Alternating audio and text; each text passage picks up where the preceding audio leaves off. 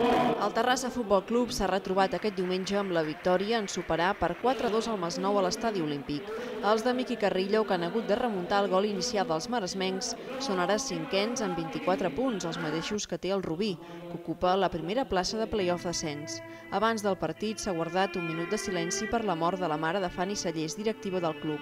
El davanter visitant Geri ha posat a prova Ortega en els primers minuts, però també Gallar ha pogut avançar el Terrassa en una acció personal.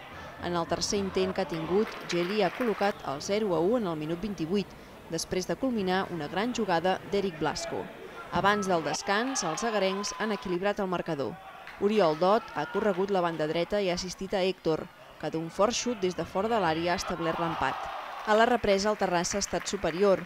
La sortida de Juancho en el minut 53 ha estat providencial, ja que als 3 minuts d'entrar ha marcat en un gran gol de voleia a passada de Romo.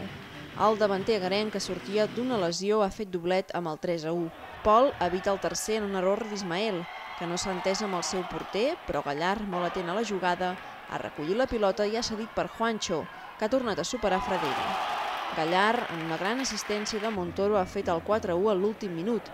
Ja en temps afegit, Eric Blasco ha fet el segon per al Masnou. Tot i la victòria, Carrillo no estava del tot satisfet amb el joc del seu equip. Sempre hem d'anar contracorrent, no? i això no m'agrada, no?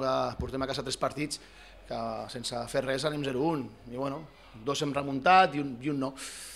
Penso que si aquests partits dels tres haguéssim ficat abans o com a mi no, no encaixar, podíem haver guanyat els tres i, no, i amb, amb, amb la muntanyesa no van guanyar. No hem d'aconseguir tant. Penso que defensivament avui no hem estat bé. Però bueno, s'ha guanyat, que és el més important, i et dic content, content pels jugadors també, que fan un esforç amb tot el que tenim de lesions i de més, i són tres punts més per continuar. Diumenge el Terrassa visita el setè classificat, al Cornellà, amb l'objectiu d'entrar de nou en llocs de play-off.